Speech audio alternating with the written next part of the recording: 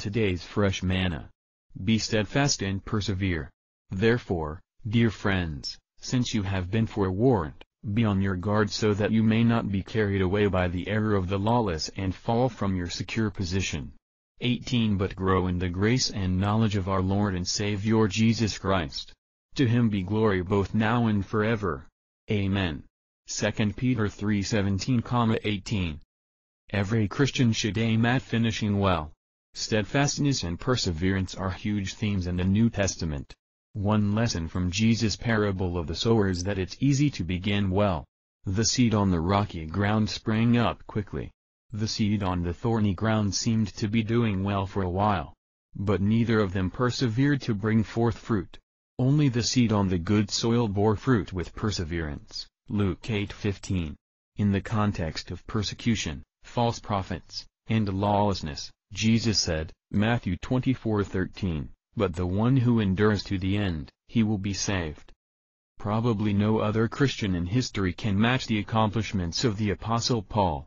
Yet when he neared the end of his life, he did not mention his many accomplishments, but rather his perseverance. He said, 2 Timothy 4:7, I have fought the good fight, I have finished the course, I have kept the faith.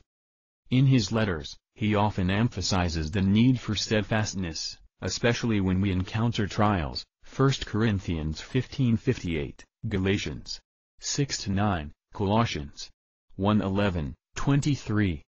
The author of Hebrews also repeatedly emphasizes the need to run with endurance the race that is set before us, Hebrews 12:1, c. also 2-1, 3-6, 12, 14.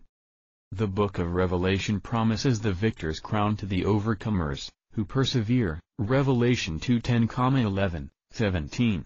As Peter finishes his final epistle, concerned about the false teachers that were plaguing the churches, he wants his readers to persevere.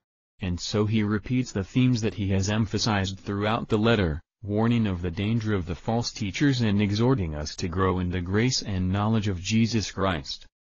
He gives us three essentials for perseverance in the faith. To persevere as a Christian, guard yourself from spiritual error, grow in the grace and knowledge of Jesus Christ, and live to glorify Him. Guarding, growing, and glorifying. There is a progression between the three terms. If you guard yourself from spiritual error, you will not fall from your own steadfastness and thus will grow in your relationship with Christ. And if you grow in Christ, you will glorify Him with your life, which is your chief purpose. Be challenged. Aothniel. December 27, 2023. God bless you.